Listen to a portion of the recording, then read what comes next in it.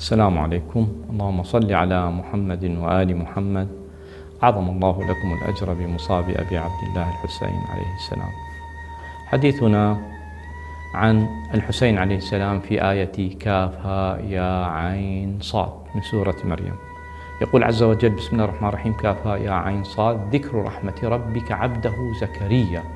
إذ نادى ربه نداء خفيا قال رب إني وهن العظم مني واشتعل الرأس شيبا ولم أكن بدعائك ربي شقيا وإني خفت الموالي من ورائي وكانت امرأتي عاقرا فهبني من لدنك وليا.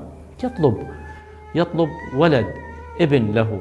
فقد ورد في كتاب الاحتجاج سأل سعد بن عبد الله القائم عليه السلام عن تأويل كاف هاء يا عين صاد فقال عليه السلام هذا الحروف هذه أو هذه الحروف من أنباء الغيب. اطلع عليها عبده ثم قضى على محمد صلى الله عليه وآله. وذلك أن زكريا عليه السلام سأل ربه أن يعلمه أسماء الخمسة فأهبط الله عليه جبرائيل فعلمه إياها. فكان زكريا إذا ذكر محمدا صلى الله عليه وآله وعليا وفاطمة والحسن عليهم السلام انكشف عنه وانجلى كربه.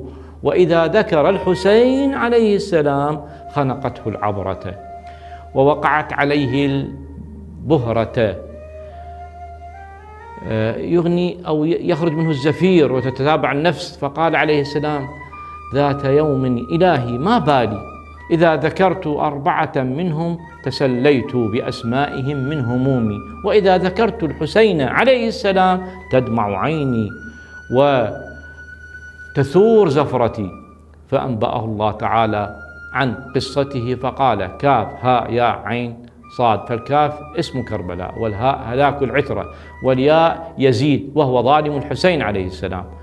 والعين عطشه والصاد صبره. فلما سمع ذلك زكريا عليه السلام لم يفارق مسجده ثلاثة أيام ومنع فيهن الناس من الدخول عليه وأقبل على البكاء والنحيب وكان يرثيه ويقول إلهي أتفجع خير خلقك بولده؟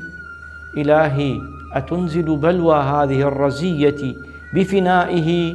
إلهي أتلبس عليا وفاطمة ثياب هذه المصيبة؟ إلهي أتجل كربة هذه المصيبة بساحتها؟ ثم كان يقول إلهي ارزقني ولدا تقر به عيني على الكبر فإذا رزقتنيه فافتني بحبه ثم افجعني به كما تفجع محمدا صلى الله عليه وآله حبيبك بولده. فرزقه الله يحيى عليه السلام وفجعه به لأنه قتل وكان حمل يحيى عليه السلام ستة أشهر وحمل الحسين عليه السلام كذلك.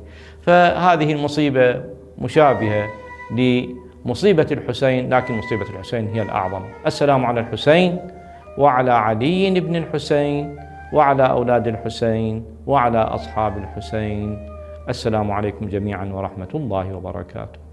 زوروا موقعنا على شبكة الإنترنت.